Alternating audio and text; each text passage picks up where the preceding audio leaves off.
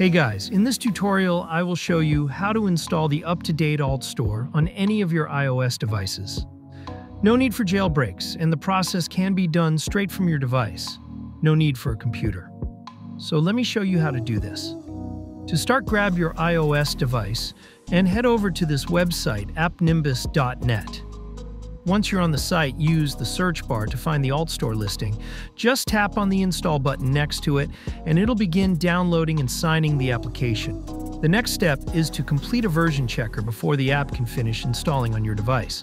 You'll need to complete two simple offer tasks. The offers are usually super easy, like downloading an app and running it for 30 seconds, or playing a quick game to reach a certain level.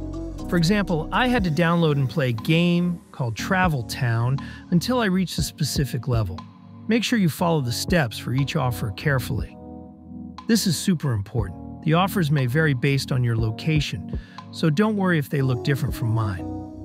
After completing two offers, you will see the app injected screen, and just like that, you have installed Alt Store to your device. Make sure to leave a like and subscribe for more tips and tricks. See you next time.